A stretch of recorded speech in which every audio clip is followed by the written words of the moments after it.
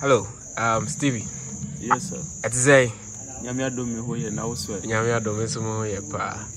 Uh, welcome back from Kampala. Oh, thank you, thank you. sir. Um, how excited are you to to be back?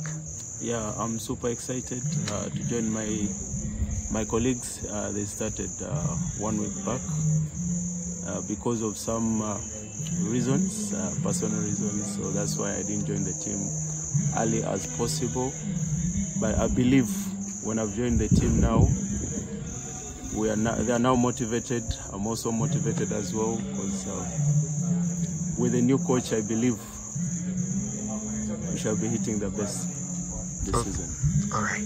So, how did you spend your holidays uh, in Kampala? We were here in Ghana, uh, waiting for another season to resume and then uh, begin work with the club as as always. So, how did you spend your holidays? How was it? Yeah, basically, uh, my holiday, what I can say, it was short. Yeah, and it was super good uh, for me because, uh, like as you saw, uh, I visited my number one fan, Yeah. the one I call my number one fan. Yeah. All right. Sure, I had to visit her. Then I really wanted to show my appreciation to her, so for her support, everything. So basically, my holiday went that way. Okay. Steve, you mentioned you mentioned about um, we saw videos circulating of you visiting a lady, uh, a lady that's clearly you can tell from the video she's a big fan of you, Yeah. and then we saw you donating a shirt to her. Uh, how big is Kotoko in Uganda? Uh, basically, uh, since I joined Kotoko, uh, I think in Uganda, Kotoko has really gained a lot of fans uh, uh, since I joined them. And I believe there are more fans still coming and visiting my, my number one fan, like I told you before. It was really good. It was super excited uh, visiting my, my number one fan. So I believe Kotoko has a big fan base uh, in Uganda as well.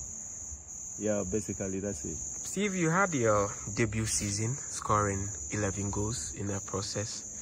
Um, before we come to your personal performance last season, how did you find the Ghana Premier League in terms of the standard, the quality, the competition in terms of meeting clubs and different? How how how did you find it? Yeah, yeah. I, I found uh, Ghana Premier League uh, super hard. So uh, they were fast. They are fast. They are aggressive. Uh, so I believe it, it was a good challenge uh, for my first season, uh, scoring 11 in the league and two in the FA Cup. So I believe this season I'll rectify my mistakes. Yeah. Steve, as you rightly pointed out, you scored 11 and then two in the FA Cup. yeah.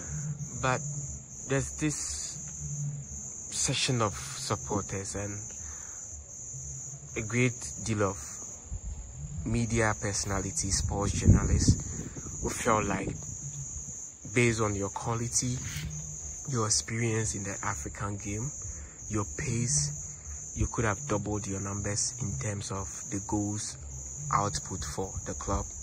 They were looking at roughly 22 goals in the season, looking at the numerous chances that come that came your way. Your way. Do you do you hear some of these criticisms that you should have done better in terms of the good the goals output for Kotoko? Do you he- sometimes hear these comments and how do you find these comments? Yeah, so basically, I hear those comments. Uh, I, even me, I believe, and I had a belief that I could, I could have scored like uh, 20 goals uh, and, and above. So, like I told you, it's my first season. It was my first season in This Kotoko. season presents another opportunity for you to possibly achieve what you want to achieve. Let's let's look at it from this perspective. As a striker, what is that figure, the number of goals you'd want to end the season with? um, basically, I won't point out any figure. Yeah, but what I believe I will do better than I did last season. I will improve on myself, improve on everything, so to make sure that this season becomes a better season for me in Kotoko. Mukwala, you seem to have settled so well in Ghana, though looking at the geographical locations of the two nations, you are from the eastern part of Africa Yeah. and we are uh, in the western part. What has made your stay or who has made your stay comfortable and easy for you in, in Kotonou? Yeah, like uh, there's not much different because uh, still I'm, I'm in Africa. Yeah, but uh, the only challenges maybe I faced here in Ghana, um, uh, basically uh, uh, uh, from the food part, you know, because you don't Africa, like pepper. Yeah, we don't take pepper, so that that's really a challenge. Yeah. Uh, and I believe I will overcome with time. Uh, and basically the sun, Mm-hmm. the climate, It's too scorchy. yeah, it's too scorchy here in Ghana. So I believe uh, this season I'm ready for everything, and I'm ready to challenge. What do you love about Kumasi? Um, basically, like I told you before, the reception uh, from the fans they're really welcoming, and uh, basically that's uh, that really motivated me and pushed me, showed that uh, the love in Kumasi really is really amazing. So I believe that made me say. Was there ever a game that after the game a supporter met you and gave you money or any gift at all for your good performance? Yeah, basically, uh, like I told you, they have the love for the game, so I can't say one or two times. Uh, So so many it has been so many times. So, yeah, I really respect that, and I really respect the fans as well. Mm, For the records, Yeah. what what what would, would you say was the biggest amount a fan gave you last season? basically, I can't I can't utter out the the right figure, but uh, it has been uh, quite. Is it in the money. regions of the two thousands, the thousands? Mm, I- believe I've gotten uh, more than that. You've gotten more than two More Ghana 2,000. cedi from a fan after a good Yeah, performance. exactly. So let's see, let's peg it at five thousand from a fan. yeah, I believe this season uh, the motivation, the love, the urge uh, for the goal. So I believe this season I'll get more than that. The fans is like a competition when you talk of giving to players. So probably or possibly somebody would want to up that figure. So it will be better if we know the exact amount that you feel. Oh, this is this is huge. No, I, I, I really appreciate any amount they give me. So I can't out out that uh, this amount, but I believe any amount I will really appreciate because if someone gets out from his pocket and he gives you, so then shows the love and the appreciation. So I believe this season we shall do better. Uh, Steve, um, a new season, it's it's on the horizon. Obviously, we are preparing for the new season, but you are going to start the season with a new manager.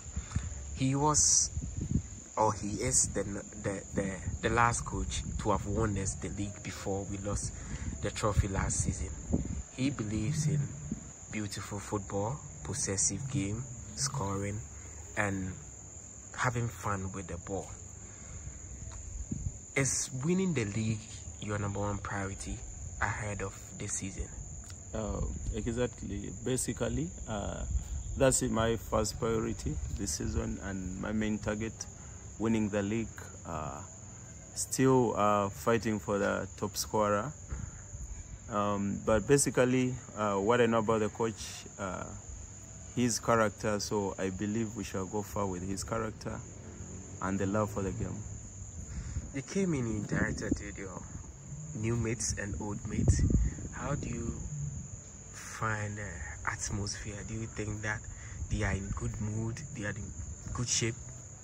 Yeah, so uh, with the reception I got today, because it was my first day now in, in camp.